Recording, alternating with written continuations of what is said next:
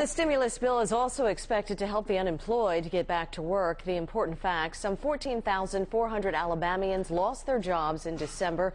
That brings the total for 2008 to 41,900. And many who do have jobs no longer have 401k matches. Chris Pollone is live in Birmingham. And Chris, many are turning to network marketing for help.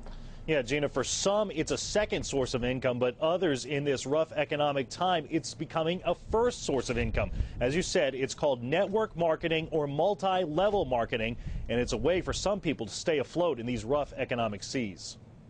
While her husband was searching for full time work, Jennifer Grissom of Birmingham decided to make a little money on the side on top of her full time job. I had to find some way to get an extra line of income that worked in with the hours that I had available to me.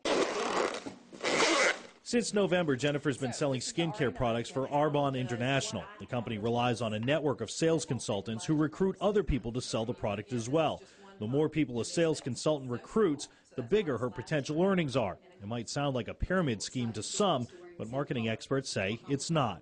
These are le legitimate businesses, though you want to make sure that, that you are, in fact, working for a, a good business, of course, always. It's called network marketing or multi level marketing, and it's been around for decades. Companies like Amway, Pampered Chef, and Tupperware work under similar arrangements. Dr. Holloway says direct retail like this has been growing for a decade, and there's potential for it to get even bigger. I think in today's economy, where there, we have the layoffs that we have uh, happening and people desperate to find work, that there's going to be increased demand in these sorts of opportunities. Jennifer Grissom says she had to overcome a preconceived stigma of network marketing and the fear of rejection we all have. It's not easy, but it is simple.